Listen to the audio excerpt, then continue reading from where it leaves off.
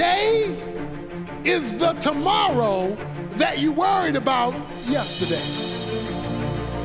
He says, so do not worry about tomorrow, for tomorrow will care for itself. Each day has enough trouble of its own. Ain't that the truth? Most of us are being crucified between two thieves, yesterday and tomorrow the regrets of yesterday, the uncertainty of tomorrow, and we still got to deal with the trouble of today.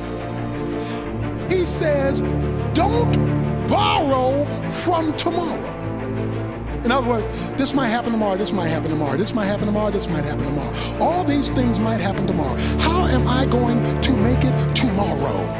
And when you withdraw from the bank of tomorrow, you've increased the burden of today and you got to pay interest on both. So you've added to yourself a burden you were never meant to have. Listen to me, listen to me. It's okay to plan for tomorrow. The Bible talks about planning.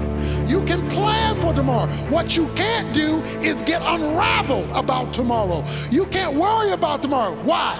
Because the only thing God is promising you is enough for today. Lamentations 3:23 His mercies are new every day. Give us this day our daily bread. God is only guaranteeing you today. So when you start thinking about tomorrow, you've gone further than God has promised. Well, what about tomorrow? He'll meet you there. Today has enough trouble of its own.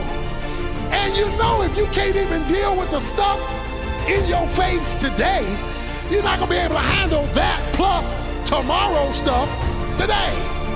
He says, do not worry about tomorrow. All I'm trying to tell you, something, look at your neighbor and say, stop it. You can't worry no more. You don't have a right to worry. It's a sin to worry. You've insulted your father when you worry. Because you've said to your father, the birds can trust you, the flowers can trust you, but I can't trust you. You've insulted God. But if we had a testimony service here today, and if we could invite the children of Israel, the children of Israel would testify. We were in a wilderness, and we didn't know where we were going to get water and where we were going to get food. But God had food in a rock and rained down cornflakes from above. If the widow of Zarephath was here this morning, she would testify, I was down to my last meal, and me and my son had only one meal left.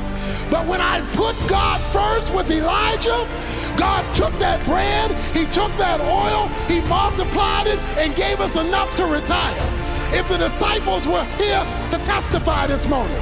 They could tell you they were with 5,000 men, not counting women and children, and they didn't know how they were going to feed them. But a little boy with some sardines and crackers gave it to Jesus first, and Jesus multiplied it, fed 5,000 women and children, and had 12 baskets full left over. If Jesus were here, he could testify. From John 6, I am the bread of life.